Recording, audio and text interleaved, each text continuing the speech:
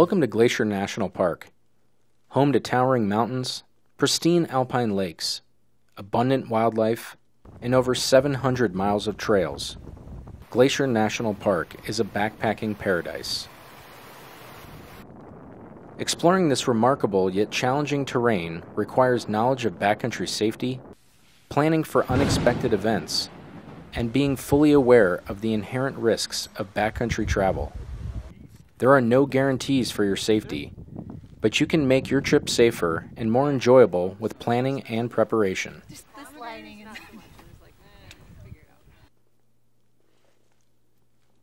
Before your trip, you are required to attain a permit at the Backcountry Permit Office.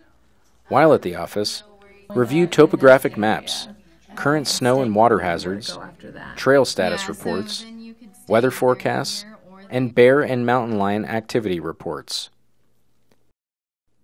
You will need to have the following trip essentials map and compass, sunscreen, extra food and layers, first aid kit, rain gear, a means to start a fire, 25 feet of rope, and a sack to hang scented items, means to purify water and water containers, and a headlamp or flashlight.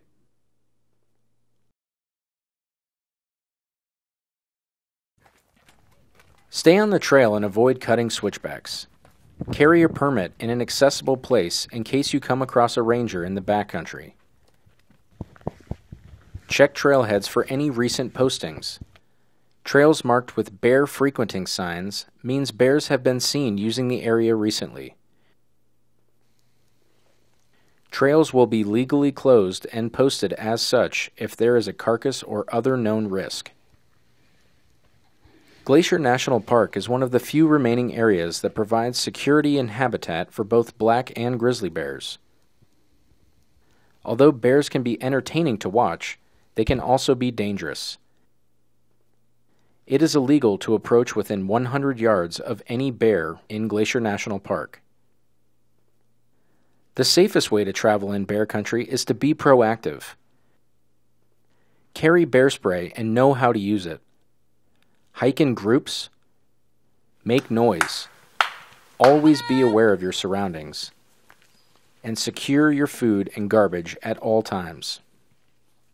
Bear spray is currently the most effective deterrent to bear attacks. The most important thing about bear spray is knowing how to use it. Make sure your spray is readily accessible, not zipped away in your backpack. Keep the safety on at all times unless you're about to deploy the spray. If a bear is charging you, remove the safety and aim for the feet. This can contains about 7 seconds worth of spray and can spray between 20 and 30 feet. Hiking in groups significantly decreases your chances of having a negative bear encounter. Bears will usually move out of the way if they hear people approaching. Bells and portable speakers are not effective methods for alerting bears to your presence. Calling out and clapping at regular intervals are more effective at making your presence known. Environmental factors such as wind and rushing water may prevent bears from recognizing your presence. Look for scat or tracks. Take notice if you're hiking near an abundance of bear food or hiking through thick vegetation. Bears hear about as well as humans, so be sure to yell loudly when hiking on windy days or near running water.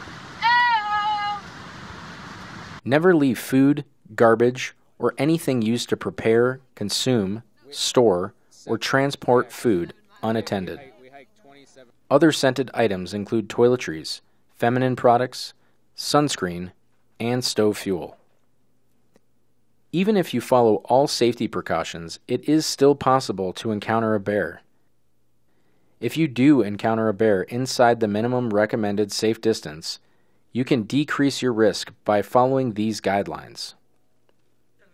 Stop and assess the situation.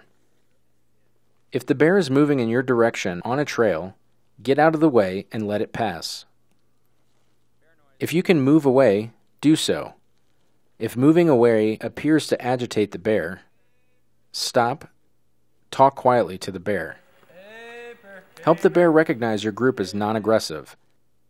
then continue to move away as the situation allows. If a bear appears intent on approaching your campsite in a non defensive manner, gather your group together, make noise, and try to discourage the bear from further approaching. If you are preparing or consuming food, secure it. Do not let the bear get your food. Deploy your bear spray if necessary. If a bear approaches in a defensive manner, stop. Do not run. Signs of agitation include swaying or lowered head, huffing, woofing, clacking teeth, laid back ears, and raised hair on shoulders. Agitated bears may charge. Talk quietly to the bear. If contact appears imminent, deploy your bear spray. If the bear continues to attack, fall to the ground on your stomach. Clasp your hands around the back of your neck and leave your pack on for protection. If the bear attempts to roll you over, try to stay on your stomach. If the attack is defensive, the bear will leave once it recognizes you are not a threat.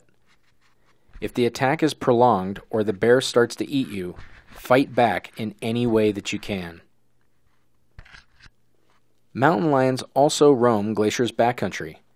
If you encounter one, Make yourself look as large as possible and back away slowly while speaking in a firm tone. Keep small children protected within your group and never run or turn your back on a mountain lion. If an attack occurs, fight back. Please report any bear or mountain lion sightings, encounters, or incidents to a ranger as soon as possible. While a bear or mountain lion encounter is possible, it is more likely you will see wildlife such as mountain goats, moose, elk, deer, and bighorn sheep. It is important to recognize that although these animals are not predators, they can be unpredictable and dangerous. They may attack if approached or feel threatened. Some animals are attracted to the salt and sweat in urine. Be sure to secure your sweat soaked items and use the pit toilet while in camp. Enjoy all animals from a distance and never intentionally approach, harass, or feed any wild animal.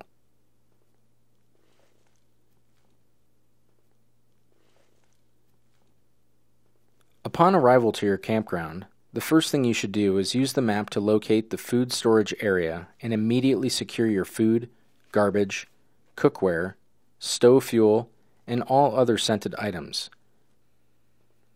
Never enter any other areas of the campground with these scented items.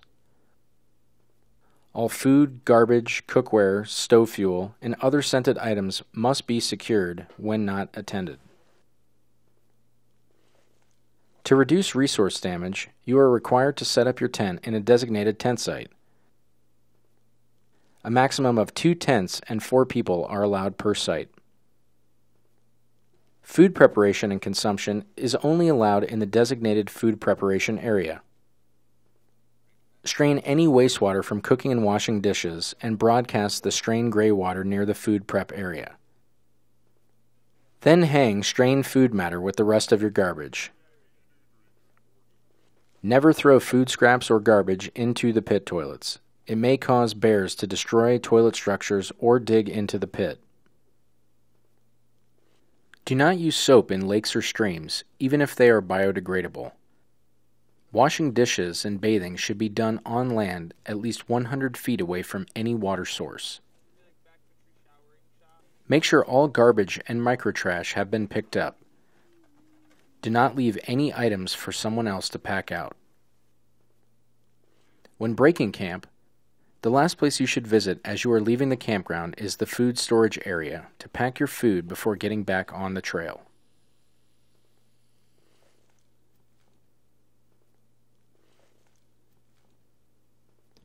Falls are one of the leading causes of fatalities in the park. Watch your footing and be mindful that the type of rock in Glacier is not ideal for climbing. Glacier's rugged terrain can create unexpected weather events. Snow may fall at any time of year. In many years, snowfields linger well into July, requiring steep, hazardous crossings, and some route finding. An ice axe and crampons combined with proper training is recommended to safely cross these snowfields. During heavy periods of rain and high spring runoff, large volumes of water can create dangerous river and stream crossings. When crossing water, scout for the easiest route. Unbuckle your backpack's waist strap, wear shoes for stability, face upstream, and use trekking poles as a third point of contact with the stream bed. If hiking in a group, stack in a single file line and cross together. Rain, wind, cooler temperatures, and crossing streams are factors that can reduce your body's core temperature. If your core temperature drops too low, a life threatening condition known as hypothermia may result. Symptoms of hypothermia include impaired judgment, shivering, reluctance to move, and collapsing. To prevent its occurrence, dress in breathable layers, have sufficient rain and wind gear, Carry extra clothes and drink plenty of fluids. Prevent heat exhaustion and dehydration by staying well hydrated and not exerting yourself beyond your limits. Water in cold, high mountain streams may contain giardia, bacteria, or other viruses that cause severe intestinal problems. These organisms get into the watershed from animals and also because human waste has not been disposed of properly. Before drinking water from any source, it should be filtered by using a water purifier that filters down to 1 micron. Use the pit toilets in the campgrounds to avoid resource damage and to concentrate waste. Toilet paper is not provided, and it should be the only product thrown into the pit toilet. Plastic or other non biodegradable toiletries should be packed out. Where a pit toilet is not available, urinate on hard surfaces to prevent animals from digging for salts and minerals found in urine. Dig a cat hole 6 to 8 inches deep away from the trail and 200 feet away from any water source. If you use toilet paper on the trail, pack it out.